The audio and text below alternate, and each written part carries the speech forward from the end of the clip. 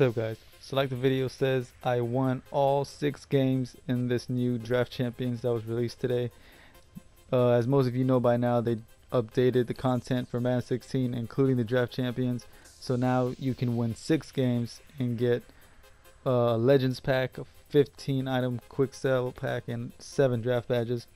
And I did, you know, I wasn't planning on doing this, but I, I, I saw that when I uh, logged in, they gave me uh, three tickets because apparently you need tickets now to play.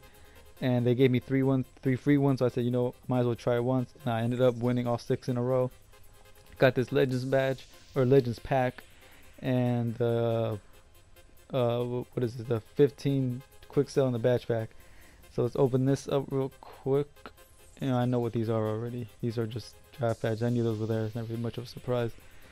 Uh, let me say the Legends badge, Legends pack. I keep saying badge. The Legends pack for last. Let me see. I know these got these quick sells. Hmm. Hmm. Hopefully I get like a 3,000 or 4,000 something. But these are all just 400, 600, 300. These are all just small quick sells, man. Damn, I was hoping for something bigger than that. Uh, and 500. Nah, that ain't nothing. That might be a few thousand after I sell them all, or more. Let me see how much will this add up to be when I get rid of all this. 70. Oh, okay, that's not bad. Over a little over 7,000. All right, I'll take it. And the Legends pack. Let's see if it was all worthwhile. Let's see what I got for all those six wins. Kevin White, the badge. All right. Ah, oh, damn.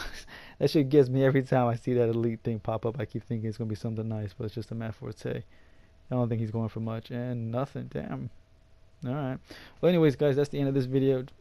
Leave a comment, like, subscribe. Make sure you subscribe so you can be up to date with the, with the new videos I drop. Until next time, y'all. Peace.